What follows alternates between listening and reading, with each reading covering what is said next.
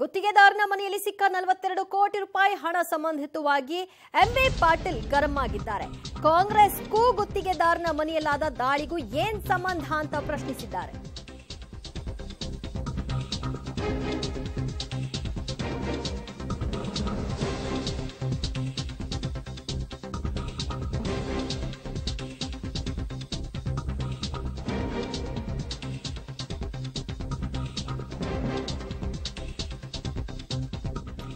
ಗುತ್ತಿಗೆದಾರನ ಮನೆಯಲ್ಲಿ ನಲವತ್ತೆರಡು ಕೋಟಿ ರೂಪಾಯಿ ಪತ್ತೆಯಾದ ಪ್ರಕರಣ ಸಂಬಂಧ ಗುತ್ತಿಗೆದಾರನ ಮನೆಯಲ್ಲಿ ದಾಳಿ ಆದ್ರೆ ಕಾಂಗ್ರೆಸ್ ಯಾಕೆ ಲಿಂಕ್ ಮಾಡ್ತೀರಿ? ಕಾಂಗ್ರೆಸ್ ಏನ್ ಸಂಬಂಧ? ಬಿಜೆಪಿ ವಿರುದ್ಧ ಹೀಗಂತ ಸಚಿವ ಎಂಬಿ ಪಾಟೀಲ್ ಗರಂ ಆಗಿದ್ದಾರೆ. ಕಾಂಗ್ರೆಸ್ಗೆ ಲಿಂಕ್ ಮಾಡೋದಕ್ಕೆ ಬಿಜೆಪಿಗೆ ದಾಖಲೆ ಇದೆಯಾ ಅಂತ ಕೂಡ ಅವರು ಪ್ರಶ್ನಿಸಿದ್ದಾರೆ. ಏನಂತೆ?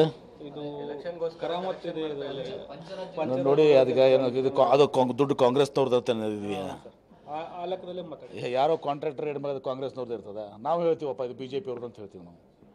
ಇದು ಜೆ ಡಿ ಎಸ್ನವ್ರದ್ದು ಅಂತ ಹೇಳ್ತೀವಿ. ಅದಕ್ಕೇನಂತಾರೆ ನಾ ನಾನು ಹೇಳ್ತಾ ಇದ್ದೀನಿ ಅದು ಅದು ಇದು ಕಾಂಗ್ರೆಸ್ನವ್ರದ್ದು ಅಲ್ಲ ಪ್ರಶ್ನೆ ಅಲ್ಲ. ಆ ಕಾಂಟ್ರಾಕ್ಟ್ರು ಬಿ ಜೆ ಪಿಯವರು ಆ ಕಾಂಟ್ರಾಕ್ಟ್ನವ್ರು ಜೆ ಡಿ ಎಸ್ನವರು. ಮುಂದೆ?